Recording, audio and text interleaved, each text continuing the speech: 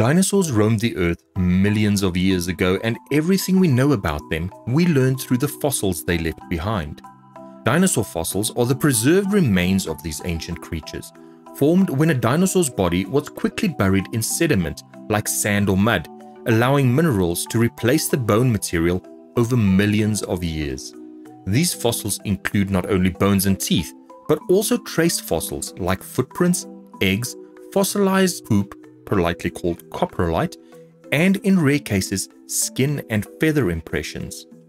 Through studying these fossils, paleontologists can understand the appearance, diet, and behavior of these extinct creatures, kind of like piecing together a prehistoric puzzle containing pieces of more than 1,000 different species found on every continent. Early fossil finds inspired legends and fairy tales as people imagined that these bones belonged to giants or huge monsters, but in reality, they are simply the remnants of a world long gone. If you think Earth is awesome, subscribe for more.